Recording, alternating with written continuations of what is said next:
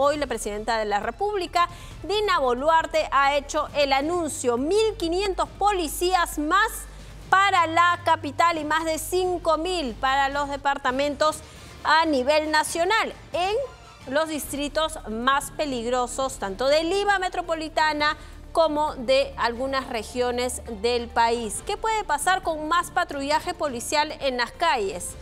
¿Va a reducirse el índice de delincuencia? Eso no lo sabemos, seguramente a medida que pasen los días se van a dar algunos resultados. Pero vamos a escuchar el anuncio que hizo la presidenta Dina Boluarte durante este evento donde estuvo con el ministerio, con el ministro del Interior. Vamos a escucharla.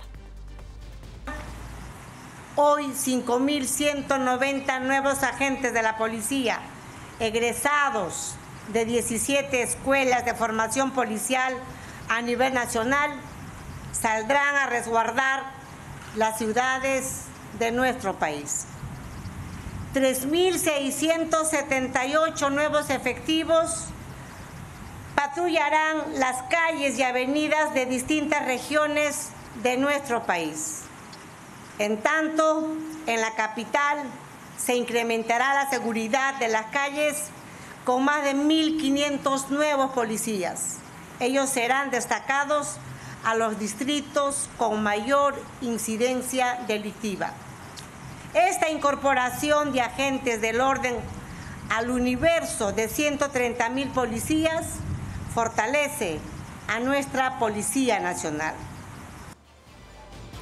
Escuchábamos ahí entonces a la presidenta de la República, Dina Boluarte. Suena, parece, suena como una buena noticia, parece que lo toman como una buena noticia. Y claro, suena bien, pero vamos a ver si realmente va a tener los efectos esperados, si realmente va a reducir la delincuencia como espera además el gobierno, como espera el Poder Ejecutivo y como esperamos todos los ciudadanos también la reducción del índice de delincuencia para no volver a ver estas imágenes que estamos viendo justamente de asaltos a cualquier hora del día en cualquier punto del país. Esperemos que reduzca o que por lo menos ayude a reducir la incidencia de la delincuencia. Eso responde la pregunta de hoy. ¿Crees que más policías en las calles va a ayudar realmente a combatir la delincuencia?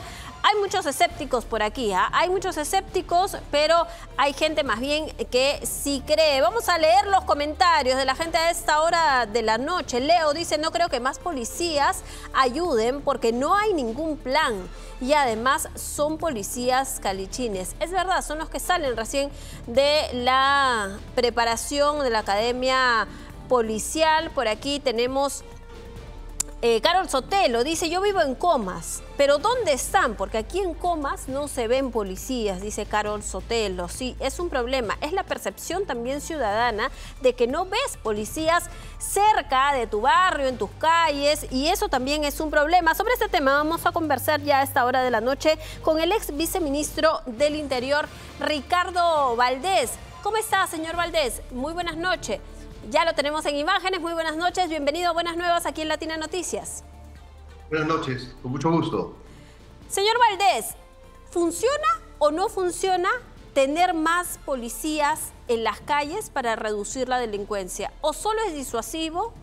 ¿O qué está pasando o qué podría pasar con ello? A ver, vamos a poner las cosas en perspectiva. En primer lugar, eh, entre los meses de diciembre y enero, se producen la incorporación de nuevos policías que salen de las escuelas y también se produce la salida de policías que por límite de edad u otras eh, situaciones deben dejar la institución policial. Eso es parte de la homeostasis, del balance permanente que ocurre todos los años a nivel policial. Entonces, estos 5.000 policías son los recientemente egresados de las escuelas de suboficiales y de las escuelas oficiales. Eh, el propio eh, ex ministro del Interior, Vicente Romero, en octubre del año pasado, mencionó que se va a duplicar, por ejemplo, en el año 2024, el ingreso de suboficiales, es decir, de los 5.000 vamos a pasar a 10.000, y eso siempre supone algo importante porque mientras más policías en las calles, en la medida que existan planes, en la medida que exista tecnología, en la medida que exista una buena gestión, siempre es una buena noticia. Es decir, dependerá del comando policial y de la gestión que se haga con estos nuevos policías el que se pueda enfrentar con, con mayor asertividad y con mayor eficiencia la delincuencia. Claro, ahora, pero se necesitan más policías en cantidad, en número, o más especializados en investigación, o más especializados en estrategia policial más bien. ¿Qué es lo que se requiere entonces? Mire, lo que ha manifestado la presidenta es, es, es cierto van a estar distribuidos en lo que son policías de proximidad, 1.500 que van a estar en las calles, eh, en, las zonas con mayor índice, de, incidencia delictiva, y los otros 3.500 están distribuidos entre lo que es orden público y aquellos que van a estar destinados a investigación criminal, que son las tres áreas fundamentales de la seguridad eh, de un país. Seguridad ciudadana, por un lado, y por otra parte también el resguardo del orden interno. Entonces, eh, ya existe en ese sentido un plan maestro eh, que es eh, usual, que se tenga todos los años, y se redistribuye al personal policial en ese sentido. lo que también ha manifestado la presidenta en otras circunstancias es que se va a, invertir, por ejemplo, en criminalística, se han dado más de 30 decretos legislativos, eh, hay una serie de medidas que se han tomado, esperemos que realmente esto contribuya a disminuir los índices de delincuencia. Mire, eh, solamente en Lima, eh, en, diciembre del año pasado, teníamos 25% de victimización, es decir, de las veces que un ciudadano de Lima había sido víctima de un delito. En agosto ya era 35%, es decir, habíamos pasado de una cuarta parte de limeños a un tercio de limeños. Ese incremento es muy alto y por lo tanto hay que hacer algo al respecto. Entonces, no solamente es un tema de control del territorio con más policías en las calles, sino es un problema de investigación policial para poder dirigir bien al efectivo policial y poder tener capturas que nos permitan, con las pruebas necesarias, eh, judicializar el caso. Es decir, si es eh, un delincuente que ha sido apresado, pues que purgue la condena necesaria. Ahora, también se generó mucha polémica, y hoy lo mencionó también la presidenta Dina Boluarte, respecto a las facultades que se le dio a la Policía Nacional a partir del decreto legislativo que eh, el Ministerio Público incluso se pronunció señalando que el titular de una investigación siempre es la Fiscalía y el Ministerio Público, pese a que este decreto legislativo le permitía a la Policía Nacional también, por ejemplo, interceptar comunicaciones y sobre todo cuando estaban en flagrancia. Esta polémica hoy la ha destacado, lo ha destacado además como facultades la presidenta Dina Boluarte. Pero ¿esto es lo más óptimo o es que el Ministerio Público tiene razón respecto a que no pueden sobrepasar sus facultades? Constitucionalmente el Ministerio Público es quien dirige la acción penal, pero constitucionalmente también quien se encuentra a cargo del orden interno y la seguridad es la Policía Nacional. Lo que se ha hecho con este decreto legislativo es eh, darle una suerte de equivalencia a la policía y al Ministerio Público, aunque la norma es muy clara en decir que quien sigue conduciendo la acción penal es el Ministerio Público. Y salvo en ciertas excepciones, delitos graves, peligro inminente de la víctima, es que eh, la policía puede actuar dando cuenta al Ministerio Público. Y con respecto a lo que puede ser la interceptación de las comunicaciones, lo que dice la norma es que esto se gestiona, por ejemplo en caso de secuestro, de extorsión, siempre a través del Ministerio Público y tiene que ser autorizado por un eh, juez lo que hace la norma es darle a la policía la facultad de solicitarlo, pero siempre vía el Ministerio Público.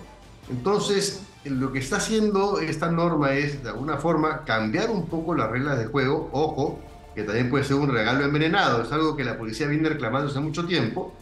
Sin embargo, eh, no solamente es un tema de normas, porque a la policía hay que darle también una serie, no solamente facilidades normativas que la policía ha reclamado, sino que también tiene que tener eh, mayor dotación en infraestructura y en comunicaciones, porque la norma por sí misma y el policía solo, sin recursos, poco puede hacer.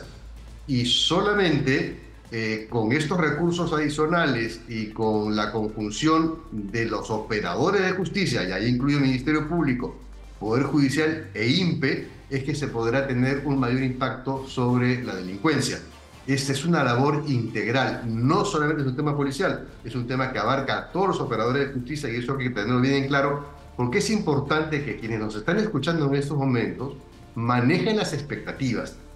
Tener 5.000 policías en las calles es una buena noticia, pero es, es algo que suele ocurrir todos los años, porque también hay policías que se van a sus casas.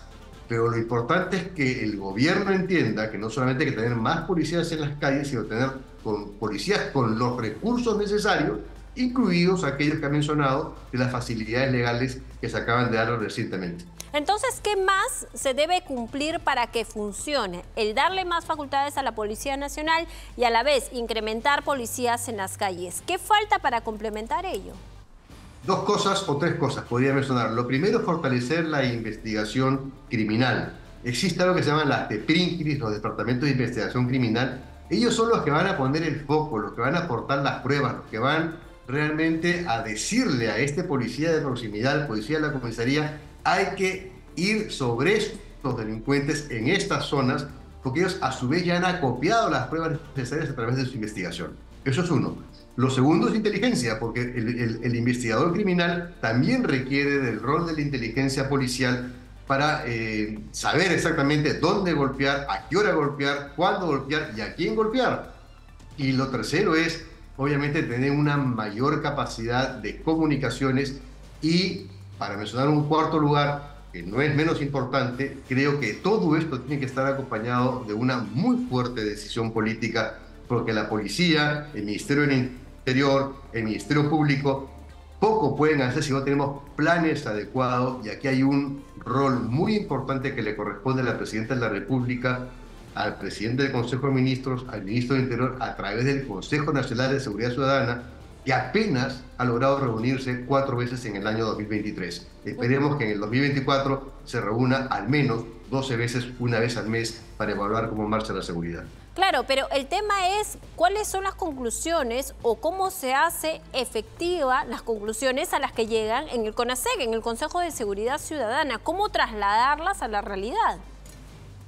Para eso están en ese Consejo Nacional de Seguridad Ciudadana quienes realmente cortan el jamón, quienes toman las decisiones, quienes aportan el dinero, quienes definen el presupuesto, quienes toman las decisiones con respecto a los cambios de colocación, quienes deben saber, porque si, si en este Consejo Nacional de Seguridad Ciudadana se trabaja sobre la base de un plan, sobre la base de indicadores que se monitorean al menos una vez al mes para ver cómo andamos cumpliendo eh, lo que se ha determinado en este plan, cómo andan los indicadores de victimización, de uso de armas de fuego, dónde se están incrementando, qué tipo de delitos en qué ciudades. Eso forma parte de las decisiones estratégicas que se deben dar en este, en este Consejo Nacional de Seguridad Ciudadana. Lo mismo ocurre en el Consejo Regional y Provincial de Lima.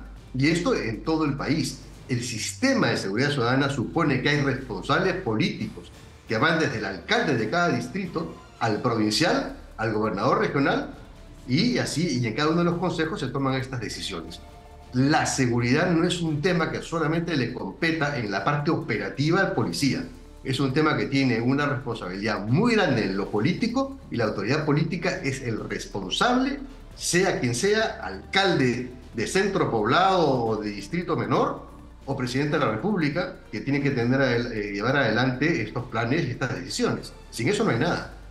Pero hace falta, por ejemplo, también una reforma al interior de la Policía Nacional como institución. Lo que hace falta es gestión. Mire, yo he, estado muy de cerca relacionado con el Ministerio del Interior en más de una reforma desde el año 2001 este, y he estado he formado parte de tres este, gestiones distintas en diversas posiciones y lo que le puedo decir a ciencia cierta es que lo que hace falta es gestión. Es decir, es conocimiento de la norma pública, es, manejarse sin corrupción, manejarse con normas técnicas, hacer un recurso adecuado, eh, un uso adecuado de los recursos y coordinar mucho a nivel de los otros este, sectores.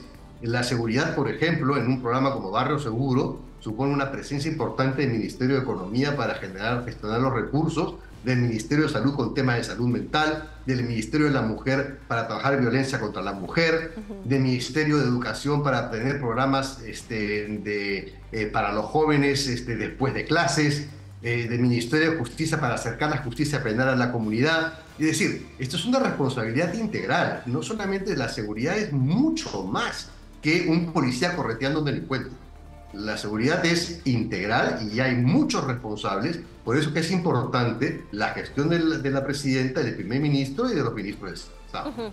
Ahora, antes de terminar la entrevista, yo más bien quería pedirle una reflexión de si es verdad o no que la incidencia delictiva se incrementó con la migración venezolana. ¿Esto fue así? Mire, eh, lo que tuvimos con la migración venezolana fue un ingreso de un millón y medio de personas eh, en un periodo muy corto. Y como suele ocurrir en todas las migraciones, llegaron todo tipo de personas, más, en un amplísimo porcentaje, más gente de bien que gente de mal vivir. Sin duda llegaron obviamente organizaciones criminales, pero si yo comparo, por ejemplo, poblaciones, no voy a mencionar nacionalidades, ¿no? en donde por, por la población penal que está en el INPE, hay más delincuentes de otras nacionalidades con respecto al, volumen de eh, migrantes que la población venezolana.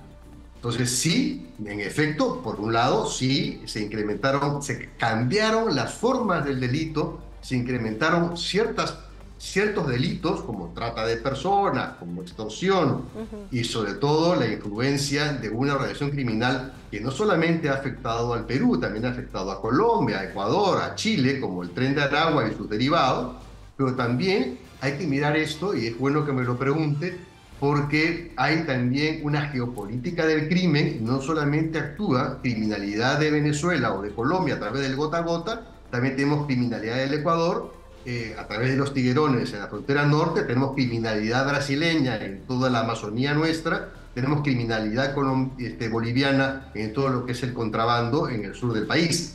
Entonces, hay una criminalidad exterior que afecta duramente también la seguridad en el país y por eso es que dentro de esta situación de ver la seguridad como un tema integral, es importante, por ejemplo, la presencia y, las discusiones del Consejo de Ministros, del canciller, para que se pueda hacer un análisis geopolítico de cómo está migrando la criminalidad internacional y afectando a nuestro país.